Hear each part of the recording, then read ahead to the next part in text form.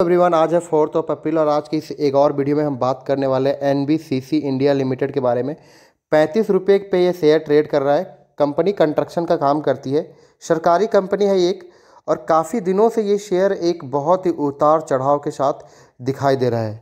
Video में बात करेंगे क्या फ्यूचर है इस शेयर को लेकर के क्या क्या ऑर्डर्स इनको मिले हैं और क्या मतलब एडवांटेज है इस शेयर का, क्या फ्यूचर में ये रन दिखा सकता है। तो अगर आप चैनल पे नए हैं तो जेनवन इन्फॉर्मेशन पाने के लिए चैनल को ज़रूर सब्सक्राइब कीजिए और बेल आइकन भी हिट कीजिए, क्योंकि फ्यूचर में ऐसे बहुत सारे जो न्यूज़ है वीडियोस है, हम आपके लिए लाते रहेंगे। तो चलिए शुरू करते हैं। पिछले एक महीने की बात करी, करें तो शेयर जहाँ भी है, जहाँ था, वहीं है। क्योंकि इसमें हमने एक बहुत बड़ी गिरावट देखी। Thirty seven thirty eight rupees से ये शेयर आ करके इकतीस रुपये पे था है मतलब काफ़ी ज़्यादा गिरावट है। और हाँ पिछले एक दो दिन से ये बाउंस बैक कर रहा है। ये अलग बात है, लेकिन इसमें हमें बहुत बड़ी गिरावट देखने को मिली। लेकिन यहाँ पे अगर मैं पिछले दिन की बात करूँ तो पिछले केवल एक दिन में इकतीस से पैंतीस रुपये पे आ गया। लगभग पंद्रह परसेंट की तेज़ी दिखाई थी इसने। पिछले वन ईयर की मैं बात करूँगा, दस परसेंट की गिरावट है, लेकिन शेयर बहुत ही ऑड इवन तरीके से ट्रेड करता है। चालीस रुपये से साल की शुरुआत किया था और उसके बाद इसने लगभग तीस रुपये के नीचे आया, फिर इसने पैंतीस रुपये का हाई बनाया, फिर तीस रुपये लगभग आया और फिर पुराना लेवल चालीस रुपये को टच किया और उसके बाद फिर से तीस रुपये का रेंज आया और फिर से दो बार गिरने के बाद अभी लास्ट टू डेज़ से ये बाउंस बैक दिखा रहा है। देखिए, तेज़ी की हम वजह के बारे में बात करेंगे कि तेज़ी का वजह क्या है।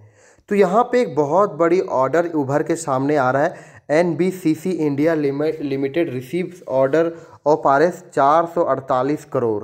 तो एक चार सौ अड़तालीस रुपये का बहुत चार सौ अड़तालीस करोड़ का माफ़ कीजिएगा, एक बहुत बड़ी ऑर्डर इनको रिसीव होते हुए दिखाई दे रहा है। देखिए, सरकारी कंपनी है कंस्ट्रक्शन कंपनी है तो गवर्नमेंट की तरफ़ से इनको एक ऑर्डर मिला हुआ है। N B C India limited has receive order one construction of border and road between B P number two three five zero two B P number two three six four length eighty eight point eighty fifty eight kilometre in the state of Mizoram along Indo Bangladesh border I B B from department of border management B M division ministry of home affairs government of India ओ ओर्थ अरेस्ट चार सौ अड़तालीस crore but यहाँ पे hundred percent recommendation जो money control के user है, उनके द्वारा बाइंग के रिकमेंडेशन है ज़ीरो परसेंट सेल और ज़ीरो परसेंट होल्ड जी तो देखिए हमारे भी बाइंग के रिकमेंडेशन है, वो वीडियो में हम आगे बात करेंगे, लेकिन इससे पहले हम डिविडेंड की बात करते हैं।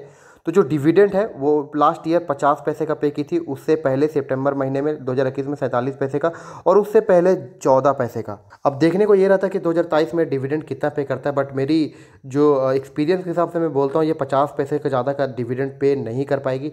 इसी के लमसम में डिविडेंड हो सकता है, क्योंकि ज़्यादा कोई लंबी चौड़ी उछाल स्टॉक में देखने को नहीं मिला है और जब स्टॉक में तेज़ी आती है, तभी डिविडेंड कंपनियाँ ज़्यादा प्रोवाइड कराती है। देखिए रेवेन्यू के जो करंट क्वार्टर है, उससे दो क्वार्टर एक क्वार्टर में रेवेन्यू गिरते हुए दिखाई दे रहे थे। लेकिन जो लास्ट क्वार्टर है 2022 में तो वहाँ पे रेवेन्यू बढ़ते हुए देखने को मिल रही है। क्वार्टरली भी अगर मैं देखूँ तो क्वार्टरली भी इनका जो रेवेन्यू है, वो 2000 से करोड़ से इक्कीस करोड़ पे पहुँच चुका है। मतलब बढ़ते हुए दिखाई दे रही है। बट जहाँ तक मैं प्रॉफिट की बात करूँ तो प्रॉफिट में बहुत बड़ी उतार चढ़ाव देखने को मिला है। जो एक लॉस आया था छः करोड़ का, उसके बाद सीधा पंचानवे करोड़ का प्रॉफिट उसके बाद लगभग सत्तर करोड़ रुपये का प्रॉफिट तो ये बहुत ही और इवन तरीके से हो रहा है।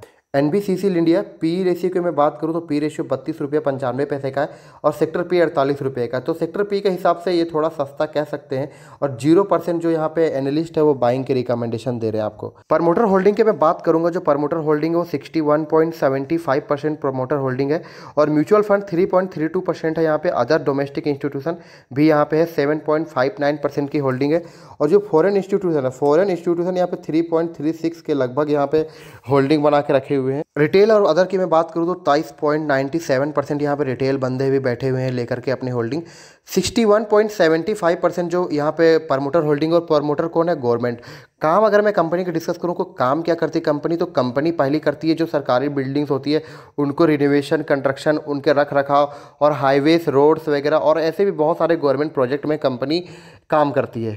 एनबीसीसी इंडिया एक सरकारी कंपनी है। लेकिन बहुत सारे ऐसे न्यूज़ आ रहे हैं कि गवर्नमेंट बहुत सारे जो बैंक अभी H D I D F C bank का एक आया था कि उसको प्राइवेट प्राइवेटाइजेशन कर दिया जाएगा।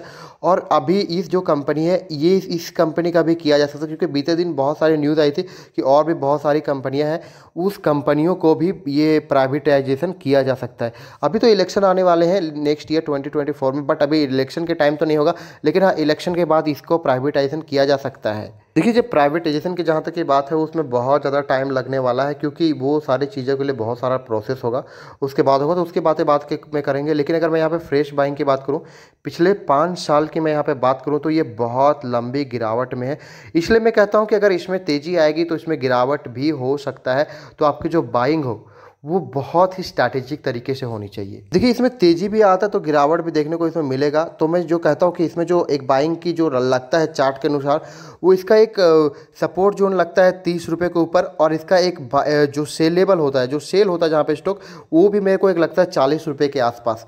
तो ये दो स्टॉक जो लेबल है, वो चार्ट के अनुसार बहुत ही ज़्यादा इंपॉर्टेंट हो जाते हैं, क्योंकि कहीं ना कहीं इन्हीं दोनों बीच जो है, ऊपर जाने के बाद स्टॉक नीचे आता है, फिर ऊपर जाने के बाद नीचे आता है। तो ये जो चीज़ें हैं, ये दोनों चीज़ें वो बहुत ज़्यादा मायने रखते हैं, ये जो दो लेबल जिनके बारे में बात कर रहा हूँ। देखिए जो जहाँ तक ये प्रॉफिट बुकिंग की तो ये अगर ये स्टॉक जाता है फोर्टी रुपीज़ के ऊपर तो यहाँ पे एक जोन होता है जहाँ पे आपको प्रॉफिट बुकिंग दिख सकता है। लेकिन अगर मैं जहाँ तक बात करूँ फ्रेश बाइंग की तो फ्रेश बाइंग आपको तीस रुपये के तीस रुपये तक आप ज़रूर कर सकते हैं।